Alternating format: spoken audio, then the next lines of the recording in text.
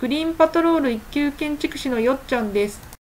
暴走対策工事、雑草に悩まされず快適なお庭へ大変身。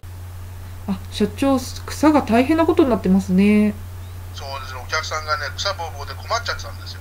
はい。それで、親父仲間と一緒にビールを飲む場所を作ってほしいっていうことでですね、レンガで囲って化粧平板を敷き詰めることにしました。はい。で、完成がこんな感じで、うん。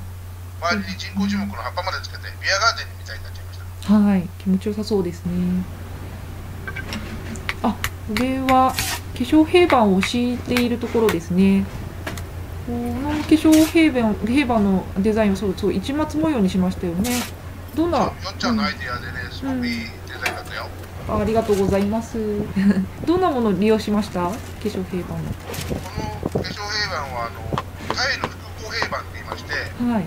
表面がタイルで作られてます。うんうんうんうん。普通の平板は表面がコンクリートなのね。そうですね。もっと無機質な感じですよね。で、その上に塗装をしてるんですけども、はい。これはタイルなんです。すごく温かみがありますね。ですからもう一生もんでツルツルでずっとお大丈夫。ああ、これならあの温かく気持ちがいいですね。はい。うん、で、あの今ここの上にはもう人しか乗らないので、はいえーボルタル下地で、えー水平にはい。水勾配って言ってあの水があのちゃんと外へ流れるようにうんうんうん。少し斜めに据え付けてます。はい。そうですね。そういったのが基本的なところなんですが、職人さんの技ですよね。職人さん簡単にやってるように見えるんですけどね、これ素人がやったらなかなかこうはいかないですよ。そうですよパパッと終ねわ。っちゃいました。はい。グリーンパトロール社長の刈谷です。私が親切丁寧にアドバイスいたしますので、お気軽にご連絡ください。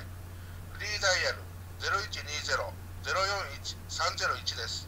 お電話お待ちしております。